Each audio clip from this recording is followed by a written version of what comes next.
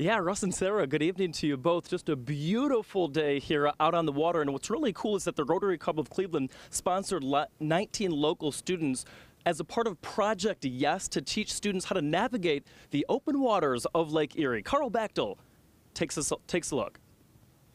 You know, I'm tearing up thinking about it. Tears of joy from a mom as the ship her daughter called home for the last six days prepares to dock.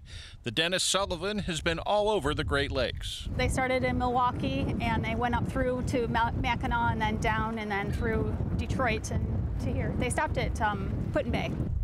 Fair winds meant smooth sailing for the three masted schooner. The students, like Naomi Morris, learned about the Great Lakes and how to sail them. We always had a helping hand, you know, but we also had enough responsibility in our hands to have a purpose on the boat. So we were all working together, a lot of teamwork. As kids left the tall ship to embrace family and friends, they all share the memories of days and nights spent on the water. My most favorite thing was definitely the stars at night. When you're out on the water in the middle of Lake Erie or Huron or Michigan even, uh, you can see the stars really bright. It was a whole different way of travel for me and um, it was it was just it, everything was new. Everything about it was new. Project YESS is sponsored by the Rotary Club of Cleveland. It's wonderful. It's wonderful. We can't wait to hear all the stories from them being out sailing. But first, a few more hugs. In Cleveland, Carl Bachtel, Channel 3 News.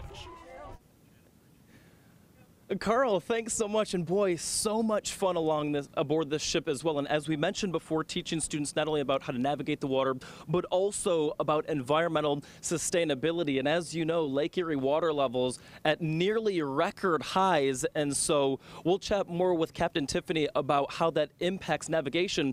But of course,